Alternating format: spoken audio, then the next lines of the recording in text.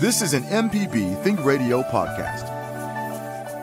Deep South Dining is the show all about the culture of Southern flavor, from fried chicken and collard greens to shrimp and grits and a glass of sweet tea. Subscribe now to the podcast using any podcast app or download our MPB public media app.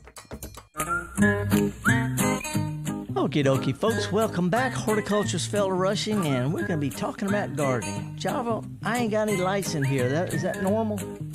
Um, Hang on, there's something around there. I turn it around. yeah, I'm saying wiggle, wiggle the mouse, um, tap on the keyboard, some stuff to light mouse up. in here. mouse. Well, you you actually don't need any um any any bells and whistles this Okay. morning. I, I, I, Don't I'll touch get, it. I'll get you straight. I'll get You you, say, straight. don't touch anything, fella. That's okay. I've, I've already trashed this place out. I mean, I came in with stuff to talk about and uh, got a T-shirt. Somebody, uh, uh, Tully Hall, made me a T-shirt. With your with, with one of your many slogans. It's, it says "Mo higher, mo better." I like mo it. better, mo higher, mo better. you know what? it is a joke. I keep telling people all the time: just mow your grass high. Just mow it high. But uh, on this Mississippi gardening Facebook thing, where I've been uh, chiming in from time to time, more and more people said we did what Felder said, and it works. You got a nice, thick, lush, pretty, relatively weed-free lawn just by raising the mower. It's not rocket science. This time of year, I'm getting so many questions about should I put down pre-emerge? Is it too late to fertilize? And what do we do about stickers? And nah, nah, nah, nah, nah, nah. just mow high. Set your mower up. Don't worry about it. There are some things you should do if you want to have a good quality lawn because you got to keep in mind a lawn is sort of like a cat. A cat will take care of itself, but if you give it some attention, it'll do better. You know, a cat will eat wild birds and lizards and stuff, but if you give it, you know, a little protein and some water, nice place to stay, it'll purr. Speaking of, of lawns, talk to me a little bit about army worms. Somebody um here in the building was talking about they had army worms in their lawn. and Yeah. It was kind of devastating. Certain they got some patches, and you know, I was like, army worms. What is that? Yeah, well, they call that because it's like an army full of them. Yes. What, what, and, and a, a, a similar thing, there's a, a, a moth that lays eggs in trees that makes these big webs, these big tent-looking webby things up in trees.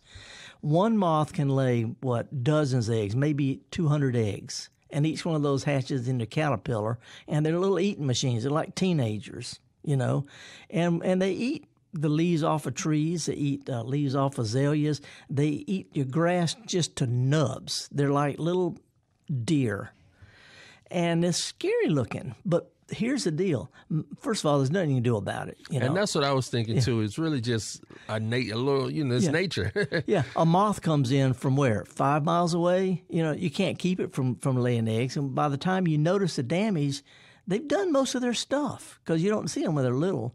So most of the time, when people see it, it's freaky looking. It's got all these big caterpillars out there. The grass is brown, it's half gone, and and it's just.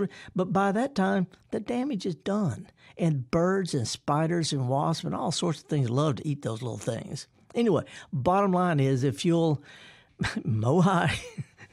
Give your grass a little fertilizer. If it comes along rain, the grass greens back up. They don't kill the lawn. They just booger it up for a little while. It comes right back. So anyway, bottom line is almost always what people do to treat it is as bad or worse than what the critters would do. I'll give you an example. All these these caterpillars that make these big webs up in trees. I mean, it'll be just a web is you know a foot, two feet long, big, big, thick, full of caterpillar, eating all the leaves. So people will set a, uh, put a, a paper bag on a stick and set fire to it, and they'll they'll burn these these wet, which is nice. I mean, it's, it goes up quick. For, forget what a horrible thing it is to to do to the caterpillars you know, I, I'm not going to go that far. Or they, they they cut them off. They cut the branches off. I'm thinking that does a lot more damage. Caterpillars eat a few leaves. You're cutting the limb off. That's called throwing the baby out with the bathwater. So anyway, most of the time, if you'll just ignore it, just ignore it. I know it bothers you, but it's a cosmetic thing, and there's not anything practical you can do that here's the kicker that needs to be done. I think sometimes people think if I just let it go, it could get too bad or yeah, something. yeah. You and, know. and a lot of times I can't. You know, having stuff cut off the end of my nose. You know, you got to take care of some things early. But uh, with the caterpillars, most of the time, by the time you see it, the damage is done. And really, it doesn't do much good except vindictiveness to kill them. There's lots of stuff that eat it. I'm not saying don't. I'm not saying there's nothing you can do. I'm just saying it's not that big a deal from the plant's point of view. So if you can relax a little bit, breathe in and breathe out, it'll be okay. It'll be okay. Me and Java Chapman and and uh, Sir Charles back here from Hattiesburg, and he's our intern, and uh, we want, want to talk with you about what's going on in your garden.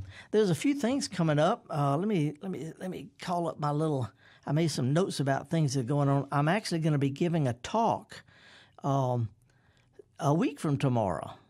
My first lecture of the fall. so next Saturday, where are you going to be? Next? Saturday, I'm going to be in Petal, Mississippi. Ha- Hattiesburg, if you're not sure, Hattiesburg is a suburb of Petal. Excuse me. My allergies, Yeah, man. you're gonna have to clear that up before next Saturday. I know. No, it's just it's just you know when you walk, you know, get all this this gunk and stuff, the ragweed. Uh, you know, there's there's several things coming on, uh, and we'll talk about it more detail next week. But a week from tomorrow, I'm going to be giving a talk in Petal. Um, I can't I was going to put my glasses on. Java, I'm a mess this morning. I'm a mess this morning. September 24th, Petal food gardening. This is going to be behind the sports complex in Petal. I'm going to have my truck down there, and I'm going to be talking from the back of my truck about growing food and herbs in small spaces and containers. And it's a it's a it's a in support of a of a local food gardening there. So that'll be a lot of fun. There's also going to be um, some things going on. Uh, there's one thing going on tomorrow, Saturday, September 17th, down at Crosby Arboretum, which is just outside Picayune. Uh, they're having a a um, mushroom field walk where you walk around in the in the woods and they got a mycologist who know understands fungi is going to talk about different fungi, edible ones, wild ones, some pretty ones, how they grow, learn to identify and that sort of thing. That's going to be at Crosby Arboretum, and um, you need to call ahead though to reserve a space. Make sure they don't have too big a crowd. But if you want details about that, go to Crosby Arboretum. Just Google Crosby Arboretum, and it'll take you to the website. It's got information about that.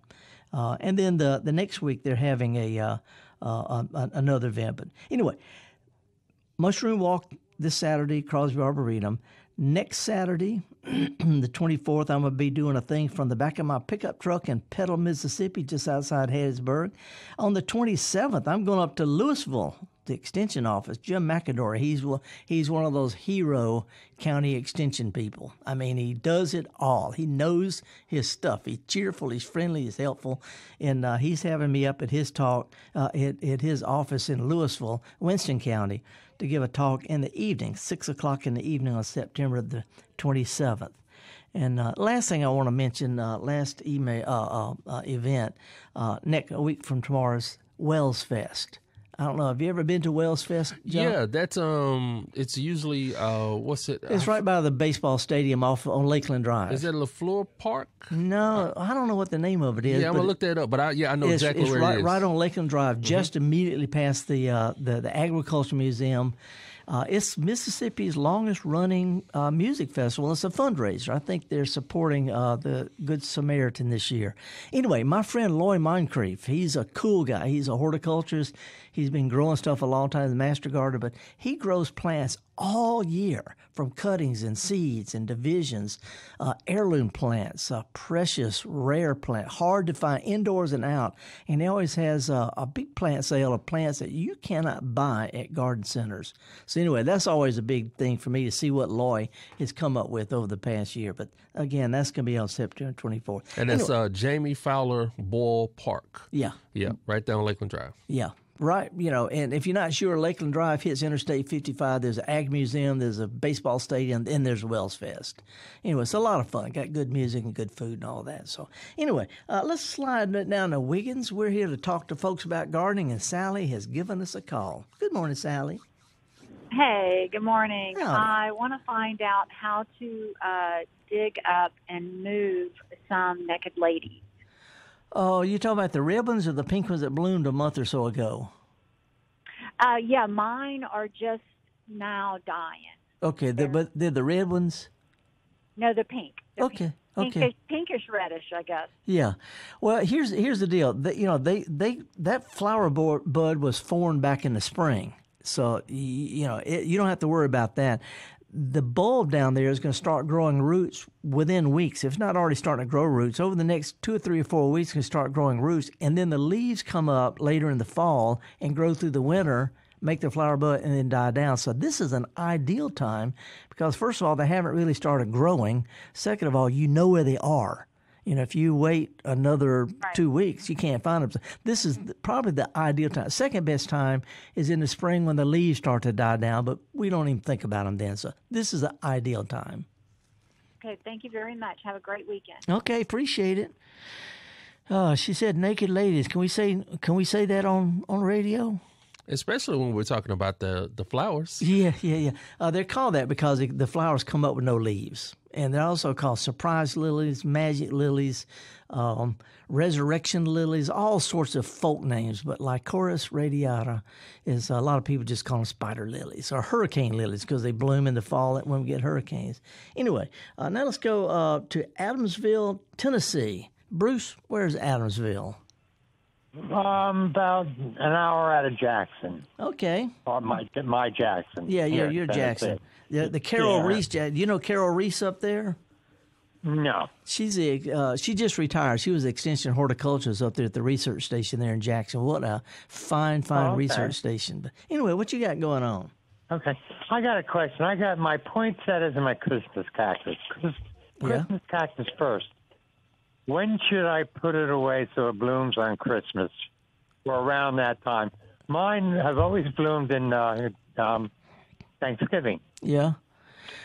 Well, here's the deal. Both of those plants are uh, their flower buds are stimulated by day length. You know, when the days start getting shorter, Okay. they start making flower buds. And so, if you want to extend it, what you need to do is extend the daylight. You know, give it a little extra light for another three or four weeks. You know, as the days get shorter, they start making flower buds. Uh, and you want Gotcha. you don't you want that with poinsettias, but with the Christmas, if you want to delay it, you just give them extra light. You know, for Gotcha, four, 14 or 15 All right. hours. Yeah. But now, I uh, thought you held them in the dark. no, no, no. And and as far as poinsettias, you want it to, to, to bloom by Christmas, not on Christmas. right, right. And and the way you do that, you got to keep in mind, darkness doesn't make the stuff turn red. Uh, the plants got to grow during the daylight. They've got to get energy. They have to have water and sun, you know, and light and fertilizer and all like that. What makes a flower bud is when the days get shorter. So what you can do for the poinsettia is make you a box that's big enough to set over it, and every afternoon, late in the afternoon, set the box over it, and then leave it on until the next morning 13 14 hours of total darkness but take it off in the daytime so the plants can grow because it's the new growth that comes out red what's on there doesn't turn red Okay, all right. so what, what we're trying to do is stimulate green growth to start coming out red growth and what you, you trigger that with, with, with darkness but it's got to have daylight to, to grow during the day Gotcha. Gotcha. Well, I appreciate it, Felder. As always, good talking to okay you. Okay, appreciate it thanks for your call Yeah, take care. okay and let's go down to summit mississippi avery how are you today I'm doing fine, Felder. Good. I hope you can help me with this problem. Um, I've got some invasive bamboo that has suddenly reappeared after about 10 years disappearance. uh, Um, it's, you know, it's basically the size of a fishing cane, uh, fishing pole, but it's getting up larger, and I need to do something to get rid of it. Yeah. Um, well, a couple, couple of things. First of all, it, it, it can be done. Uh, it's not easy, and some people say it's impossible. No, it can be done. I've done it myself. But what you got to do is, first of all, understand that the stuff it has these rhizomes, almost like those canes, running along the, the uh, just beneath the soil surface, and the new growth comes off of those, the runners. And so, if you could pull them up, that would help a lot, but that's not going to be practical. So, what I would recommend, and I've done this numerous times, a lot of different approaches, this is how I do it. If you cut this stuff down over the wintertime, Just take your time. You don't have to worry about snakes and yellow jackets and stuff. Over the winter time, just cut it down. Uh, the next spring, when it sprouts back out, let it get about knee high or maybe waist high, and then spray that with a weed killer. The weed killers don't work this time of year because they're not sending food down to the leaves. And weed killers don't work well in the wintertime or hot, dry weather. So cut it down, let the new growth get at least knee high, maybe waist high. Spray it with a, a weed killer, and it'll take it down and kill the roots. Top will die. Okay, that sounds great. It, Right. it, it, it really works. It sounds like a lot of trouble, but it works. okay, thanks, Felder. Okay, good luck on it. All righty, now let's go to uh, Florence. Roger, good morning. Well, good morning. Thanks again for what you do. Such a great job at it. Hey, it's either this or get a real job. Treasure. What's a that? Treasure. You're a treasure. Well, thank you. Sp- speaking of treasure, in four days is International Talk Like a Pirate Day. Our me treasure. Hard. That's good. I have a question for you. What? Uh, I've watched these spider lilies and loved them and transplanted them, which is real easy, by the way. You can find a clump this time of year easier than can when they're when all you have is the green Right. uh, growth. But and you can chop down in there. And don't worry, you're going to kill. You're going to chop up three or four out of each clump, but you're going to get three or four, and you can go transplant those, and they'll come up. But this year, Felder, these things are 25 or 30 percent taller than they've ever been before. You know Oh. what? And th- this is really strange because I thought there's something wrong with mine in my back garden. I've got some that are thigh high in my backyard, and they've never been that. But I just thought maybe it was the the, the rain or, or the weather or something like that. It, it which which it might have to do. It might be when the when the when the stems were elongating, the cells in there might have had so much rain that the cells got a little bit extra extra juicier. It might might be something so. like that. But I I noticed. think it's remarkable. Now, I- on the other hand, I haven't noticed when we have a drought about July and August or something whether that has the opposite effect. And I've also noticed that different clumps have different uh, heights Yeah. typically. So you got some short ones and some tall ones, but this year they are all knee high or higher. Yeah, I mean, I, I I didn't even really. I thought about it in my garden, but I thought it was just that one clump in my backyard. But all of them in my backyard are taller than normal, and I, I just thought it was. I, I didn't think twice about it. I just noticed it when when you brought it up. So it ain't just me. Yeah. Well, that's just an observation for uh, that that tickles my fancy. All righty, pre- appreciate it. All righty. Uh, now let's go down to Mobile. We're gonna have to take a break in just a few minutes, but let's go down to Mobile and talk with Mikey. Mikey, how are you doing today? Oh, who doesn't love having their fancy tickled, man? I mean, come on. Yeah. you know, and, but re- uh, regarding plants or anything else, Yeah. sincerely, um, my I- I didn't hear uh, what his opening question was about the plant. The question that I have is regarding plants that are called Crocosmia. Some people call it Montbretia. Yeah. I have a neighbor who loves having it, and I've been gradually distributing a little bit because she's only got, you know, she's got to do the full time job thing. And so I want to give it to her in, in terms that she can actually transplant it on her home estate, um, you know, inherited home estate. Is there a better, can I, because I've got so much that I, I want to be as generous as possible, but, and I don't want to be wasteful. Yeah. Um, so should uh, some of it I know can be cut off and stored as bulbs because I've seen it for sale in places, and uh, the rest of it um, uh, should I transfer it to her with the greenery on it or not? Is my bottom line question. Okay, uh, I'll answer that in sort of a roundabout way. As far as I know, no one has ever been able to kill that plant. I mean, this is the single most commonly grown pass along plant in England. And it's considered an invasive exotic. I see it in the middle of the wasteland moors, as far as you can see.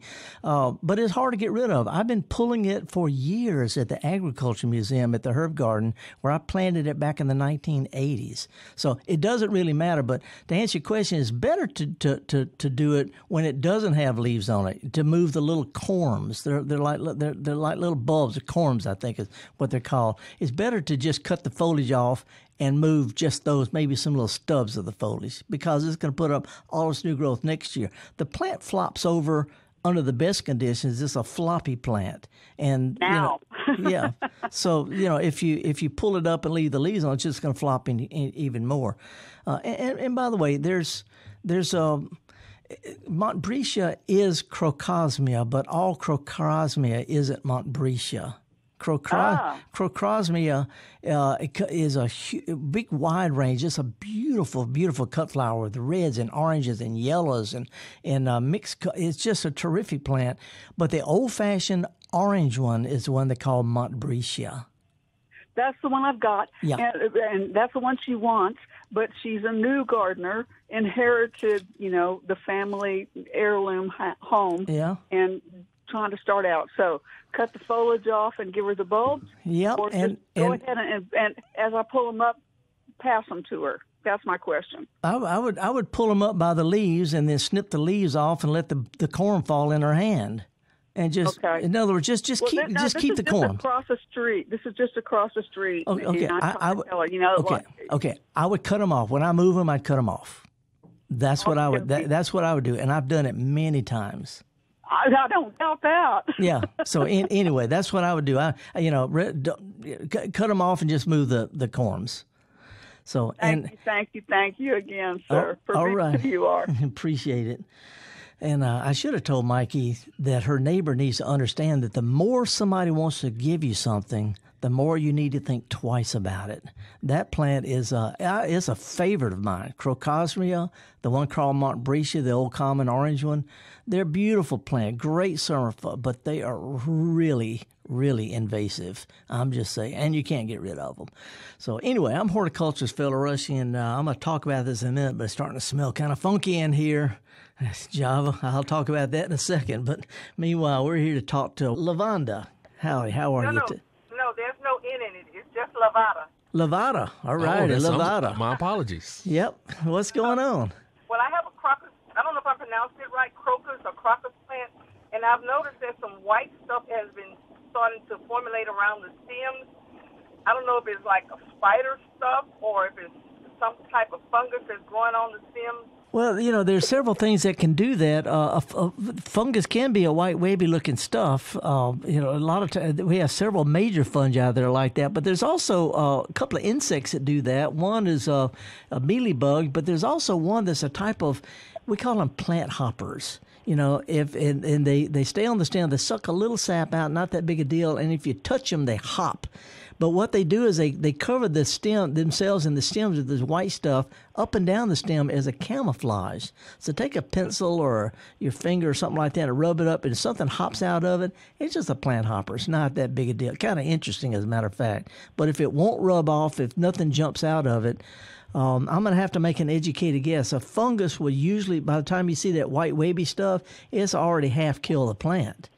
And if it ha- if the plant looks okay and it's just stuff that's on the stem that rubs off fairly easily, it's just a, a it's camouflage from an insect. Okay. Now that's just that's it's nothing but an educated guess. It might not help you at all. Okay. All right. So basically, if it's not the bug, the plant is on its way out. Well, you know, uh, again, I have to have to put on my thinking cap. Plant pathology. You know, you can have a white wavy fungus that's growing on stuff that's not really killing it. So, you know, h- how does a plant look from five feet away? Look okay from But a it looks good. It looks really good. I Okay. Just saw it come on there. The plant's so far looking good. see it see if it doesn't rub off. It rubs off fairly easily. It's a temper. It's going to be you know probably the webbing, the camouflaging from an insect, and I, I really wouldn't worry about it. If you want to do anything at all, get you a little alcohol, rubbing alcohol and some water, and just just wet it down with that. Okay, thank you. It's just an, just a guess. You understand that, right? Uh, what the alcohol ratio should be? Oh, I, there's not. A, I mean, you can throw a glass of gin on it if you want to. Okay, I got you. I got you. Okay, thank you so much. okay, appreciate it. Okay, all right. Okay, bye bye. Yeah, or or or just rubbing alcohol if you got it. anyway, now let's go to uh, I think to Jeremy in Mobile. Jeremy, good morning. Good morning, Felder. How you doing, sir? So far, so good. Got stumped a couple of times, but I'm all right with that. Rock and roll, man. So I was, I was telling the call screener, um, so I'm originally from Northeast Georgia. I worked in a nursery for seven years or so, and one of our big things that we would do for shade ground cover was uh, and heuchera. Yep. And I've been driving around uh, for the, the four or five months I've lived down here and looking in people's yards, especially in the nice parts of town. Yeah. And I've, I've not seen a stitch of that stuff. Will it not take down here, or what's the deal? It'll it'll do all right. You know, heuchera is is native. I mean, it grows in, in the woods in the southeast. It's a native plant, and they're heuchera societies. You know, they've got a you know just just as far as you can see, go to every British flower show. They got a heuchera thing, and the hellebores. Are uh, you know my partner's got a uh, a a thing about hellebore. Grows them from seed. You know, been to hellebore farms and and there's some really good hellebores at Callaway Gardens and Birmingham uh, uh, uh, Bot- Botanic Garden that that reseed themselves around. But they do better the further north you go. But Yeah. there's no. The, the, I'm gonna suspect the main reason we don't see them along the Gulf South is because garden centers don't sell them because they're Ah. they're slow growing, um, and because of that they're more expensive, and people tend to go for the you know just the monkey grass and stuff like that. But Okay, exactly. I mean, as, as, a, as a commercial grower, I mean, the plugs themselves were three fifty a pop. So. yeah, yeah. So so so you you understand, you know. Yeah. And, and here's another thing: both of those plants, when you buy them in a pot, grown in in, in pot, as you know, wholesale growers grow stuff in in in, in a, a growing media that drains well because they water automatically all the time. If you take those plants home and put them, pull them out of the pot, stick them in the ground, that potting soil decomposes and the roots rot from staying wet, dry, wet, dry, wet, dry more than the soil around it. So, you know, the people who have success with these are typically the ones who are going to loosen up the potting soil and stir it into their dirt, almost bare root them. And most gardeners, if they're those kind of gardeners, they can do it in their backyard where you can't see it. So the the reason I'm asking is uh, we got this. Uh, it's, it's a very well established, uh, probably 40 year old uh, Japanese maple. uh Uh-huh. I think it's a I think it's a Oshio beni in the front yard, Mhm. and the the roots are starting to get exposed. Uh, and I, I want to do something to to cover that up, make it make it pretty and nice. And I'm just trying to figure out a good solution. Uh, uh, and I know that they have like that toe ticklers brand um, that like uh, uh, James greenhouses sells and stuff like that. Mhm. And I'm just trying to find something that's going to make that look pretty and have some little tea tiny flowers on it or something. Is, is, is there something Well, like that around here that can that Yeah, here's here's something. First of all, you know, uh, I'm you know I've been to, to Japan and the botanic gardens there, and any J- Japanese garden anywhere in the world, roots are celebrated of some kind of plants. You can actually make a nice, neat edge around the edge where the where the grass stops and the roots start, and have them part of it. You know, put a, a nice little rock there or something. But also, you might want to look at some of the different types of mondo grass, the black mondo grass, the dwarf mondo grass, regular mondo grass, some of those kind of, and put them in little repeated groups here and there with a rock or something, because you know they're they're out there all the time. You know the hellebores. Uh, you know they do okay. Mine are actually starting to put up new leaves right now, the hellebores, but they look kind of ratty towards the you know, end of the summer. So th- you know, look at some of the dwarf, the different types of mondo, the black mondo grass, the dwarf mondo, the regular mondo, maybe a few clumps of something like striped liriope or liriope, whatever y'all want to call it in, North Georgia. But in other words, some some little clump forming things with a with an accent of like a, a stone. Put you some moss around there. Tuck you some moss in around the roots. Let that be part of the scene. Oh, man. Um, one last question for you though. So uh, I've I've always really admired the way it looks, but that pink mondo grass down here, it'll grow like wildfire, right? I don't know. Don't know the pink. I might have to look that one up. You know, I, I'm I'm not a I'm not I'm somewhat of an aficionado of the different kinds of what we call monkey grass, but I have Yeah. haven't seen a pink one. So um, you got me. You got my juices going. Yeah, I, I know they grow well in Florida, so they, I mean, they, and I've seen them in in very well, well, well lit, full sun scenarios Yeah, uh, yeah. in there up in up in up in Athens. But uh, you know, I figured that if they grow in Florida, well, they, they should grow down here. That's Yeah, and I, I tell you one one more thing before we move on. There's a um, a, a plant that you can grow in Mobile that's about as far north as grown, but the peacock gingers. you know, they won't grow up in North Georgia. Peacock gingers are great little, sort of like a hosta slash heuchera slash hellebore substitute for the Gulf Coast in Florida. Peacock ginger, awfully pretty plants, hardy too. Definitely look all that up. Thank you so much, and I hope you all have a wonderful Friday. Appreciate it, man. Thank you. All righty, pieces. All righty. He's, uh, you know, some weird plant, heuchera. It starts with the H E U. It's sort of like um, what I was doing during the break, trying to get rid of some of this gunk from all the allergies. Uh, let me see. Uh, we need to go to Pike County. Mary. Hi, Mary. Good morning. Hi there. Hello. Um, it's actually Pike County. Hello? Yes. Oh, I see that now. I got, you know, they told me not to, to turn on these screens, and I'm having to look at this little phone thing with my bifocals. I'm partly partly on Java, partly on me. So what's what's up? What's up in North Mississippi? Well, North Mississippi up here.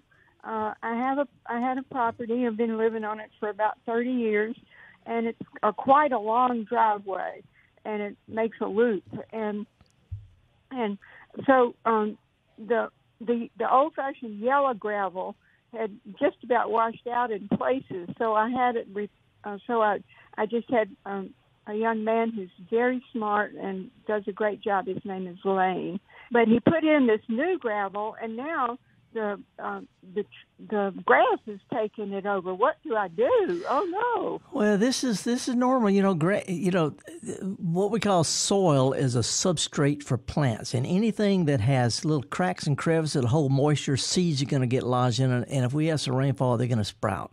So this is going to, unless you have a, a type of, of uh, paving that locks together really, really tight, like slag or chipped marble or something like that, uh, you're going to always have problems with little grasses and weeds and things like that. It, it always. And there's a lot of different approaches from wetting down to vinegar to you don't need to use a, a, harsh weed killer because you know these things come up from seed, but you can just come up with some kind of weed killer of your choice, and from time to time just go out there and spray it. There's just no other way around that. It's just well, not. Um, I don't. Um, can you recommend something that won't hurt the birds and the and the bees? And the... Very, very few weed killers going to hurt the birds and the bees. I mean, even something like Roundup. Roundup is on the same uh, health risk as red meat. Just don't eat it five times a day for years and years and years. But no, the uh, any of the weed killers that that are uh, that they sell at garden centers, if you just wet the weeds down with it, it's not going to hurt the birds and stuff. Uh, and, and I'm, I'm, very sensitive to organic gardening. Uh, Rodale Press published one of my books, and I've written for Organic Gardening Magazine and all. But it, realistically, there's not a problem if you just wet the weeds down with something that they that they recommend for weed and grass killer. Uh, unfortunately, it's just gonna be te- it's just gonna be temporary though. This is just gonna be part of it. Well, my yard man uh, told me that it would die in the in the in the winter. That's right, but but winter is only for about three months in Tate County. The rest of the year, you got stuff to deal with. Anyway, you know, you can also just live with it. You know, green is a color too. It's you know, it doesn't hurt anything to have it out there. It just bothers us. Oh, but it the way he he laid the it was so I, elegant. I, I, you you, you you cannot imagine how familiar I am with this situation. I've been dealing with it for decades. In my own in my own garden, I have to deal with this, and you know, and I I I've got a little uh, uh, uh, it's a hoe that's really really sharp. And what I do is I don't chop. I put it on top of this stuff and I just scuff it along and slice it like shaving and that works too. It's just a pain. But I got a little garden. I don't have a long curvy driveway. So anyway, it, it, this is just this is part of nature. You know, it's uh, nature filling a void. Entropy happens. so anyway, you got the that's order to chaos. That's what second law of thermodynamics. Weeds are going to happen, just like shaving our face. You got to deal with it all the time, or else just grow a beard like Java. Well, okay, all right. So, what what kind of uh, weed killer? Uh, not not cocaine. Almost any of them will work. Oh, oh, you can't you can't do that. Well, it's just it, it, it's just like recommended brands of ketchup. Ketchup is ketchup. Almost any kind of weed killer will do. And I can just go out and just and just get it wet. And yeah, yeah. Oh, this, okay. Well, it's not so many now, but that, but you know, by well another year, it'd be really hard. Yeah. Well, it's gonna be from here on. This is just like shaving. Once you hit puberty, you got to start shaving, and once you put a gravel driveway in, you got to start scraping. So anyway, good luck on it. I'm a girl. I don't. Don't don't give me that. This this is this is 2022. We's don't care about gender. Good luck on it. We got to scoot. Okay, bye. Okay. well, I'm a girl. Well, I'm a guy, and I don't like weeds either. But you know, I've got this slag in my yard. Not slag. It's uh, chip slate, and it's pretty. It lays flat, but weeds grow in it, and I have to get out there and pull them and scrape them. Sometimes squirt them. It's just part of it. Part of it. Uh, the the plant I was talking about that's making it funky in here, Java, brought some garlic. It's time to plant garlic. Almost time to plant garlic and you take a, a, big old bulb of garlic, pull it apart, and take those individual cloves about finger deep in the dirt sometime in September, October, grows over the wintertime and grows these big bowls full of cloves next year. But garlic is planted in the fall uh, and is harvested in the spring when the leaves die down. But anyway, that's my heirloom edible plant of the week garlic. Start looking for it because it sells out quick. But garlic is a great plant for overwinter in beds or in containers. And Java, I think for this week's podcast, we're gonna I'm gonna uh, drape this uh, "Mow Higher, Mow Better" T-shirt. Uh, and I'm gonna, I'm gonna that, that that Tully Hall made for us. I'm gonna drape it over on these MPB microphones. Use that for our picture of the week. Okay, yeah, no, that's that's perfect. We appreciate uh, him for sending that. That, I, but I next time I'm gonna request a three X. A three X, yeah, yeah, or, or maybe a a one X for me. You're a big guy. This won't fit you. It's a little bit too big for me, but I'm gonna use it. You're gonna see. Anyway, let's. We got Juanita back from Oxford. Juanita, thank you for calling back. What's going on? Oh, I apologize for dropping the call, Felder. I um I just wanted to ask this question. I have a fig tree that my sister planted before she died, and it it's about five years old or six years old now, and it was doing fantastic, mm-hmm. giving figs, green, beautiful. I would say it's about eight feet tall, uh-huh. maybe seven, and it was beautiful. And all of a sudden, this summer, maybe a month ago, it, it just dropped the leaves. The Yeah. leaves turned brown. They fell off, and it all happened like in one week. And I'm desperate to save it. Yeah, uh, and this it, it I, I've been growing figs. I, I, we have a fig tree that my great grandmother planted before my mother was born, and it still makes figs. But I've had the same thing happen to me. Here's the deal: figs are native to the Mediterranean. You know, they don't like really, really, really wet. You know, they're they're native to dry area, and if we have an area a, a time where they stay wet their roots get damaged. In the middle of the summer, when they have all those big leaves on them, it turns hot and dry. All of a sudden, they don't have roots there because they got damaged back in all the wet years. So this is something that happens. The bigger the figs get, the more they need roots. And if we have a really wet year, that damages the roots. And typically, the problem shows up in the heat of the summer mm-hmm. because all of a sudden they got more leaves than they can take care of during hard times.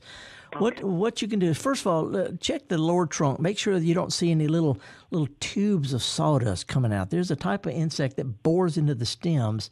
Uh, it's about the size of a pencil lead. If if you're old enough to remember what a pencil is. Sure, sure. And and the, the sawdust comes out in a long skinny tube, almost like a cigarette ash, but it's about shaped like a little tan uh, pencil lead. If you see that, then that's some some uh, some trunk damage. That's the problem, and that's fairly common. The borers. If you don't see that though, sometime this winter, just go in and cut the plant. If, if the leaves drop off, that's actually not a bad sign. When they turn brown and stick on, that's when it's dead. When they shed, that's just temporary stress. Sometime this winter, c- c- go in and you know, thin out some, cut some of the tall stuff back, leave some of it unpruned so you'll have figs, but cut some of the taller stuff out, thin out a few of the branches, take some of the workload off the roots. Let's see if that doesn't help. Okay, I will do that. I'll check those both things. Thank you, Felder, very much. Fingers crossed, Juanita. Fingers crossed. Okay, thanks a lot. You bet. Appreciate it. Okay, bye bye. All right, and let's slide over to the Delta. D caller from Greenwood, Leflore County. What's up? Hey, Felder, I Yeah. love your show. Thank you. I have a question about a house plant. Mm-hmm.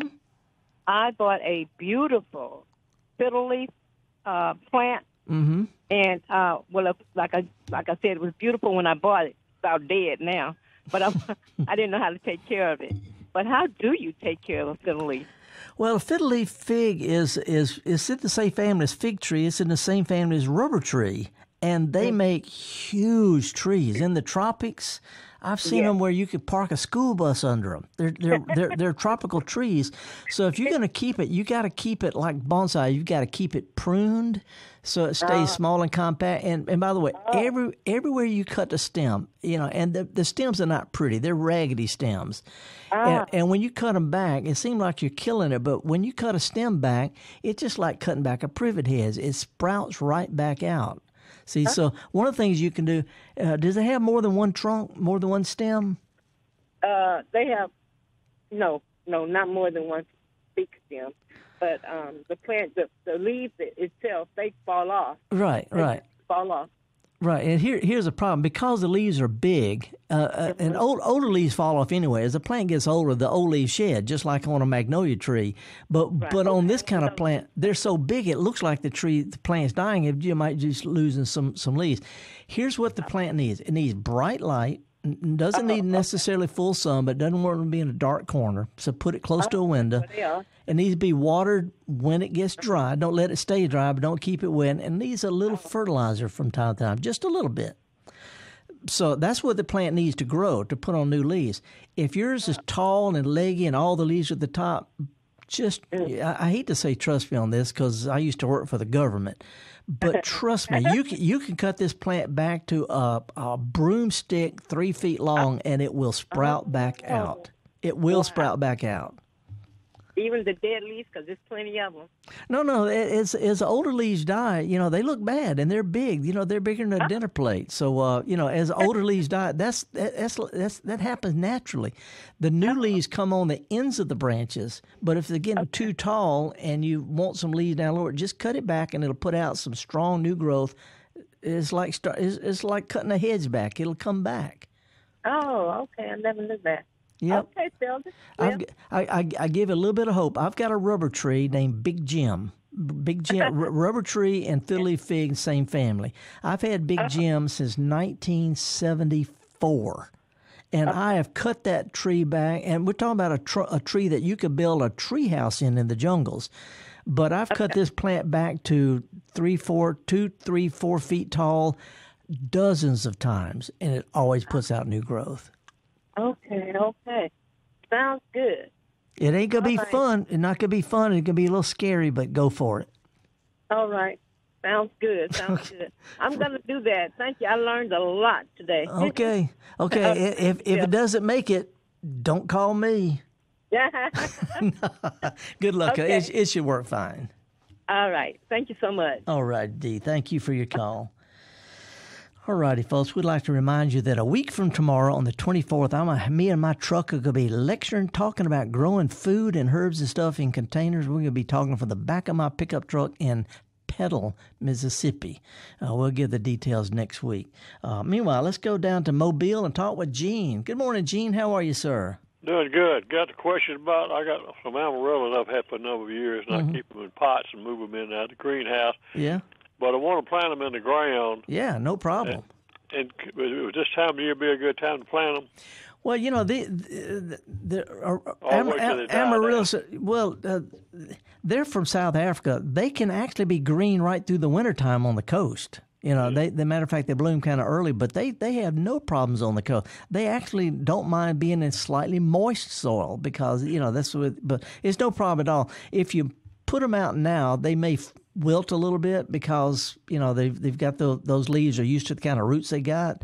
Right. But uh, they, you know, if you want to cut them back a little bit, they'll put out all new growth uh, in late winter, spring, and do just fine. Okay. One other question, real quick. I had some spider lilies I had dug up several years ago, and I had a number three wash tub, a couple of them. Uh huh. So I, I went all around the neighborhood when it was sprouting up, and I dug them up and put them in this thing. I think it was a beautiful thing in the spring and whenever, uh, fall, rather. Well, it's been about five years, and nothing ever happened. Long story short, uh, I moved the wash tub the other day, the bottom fell out. Well, when the bottom fell out, I had had to plant them. They were already begin, and I, I wanted to plant them anyway. Yeah. But but uh, I guess they'll survive. Yeah, they'll, they'll do fine. They're called hurricane lilies. Uh, you know, down on, you're talking about the ribbons, right? Yeah, spider lilies, yeah. Yeah, yeah.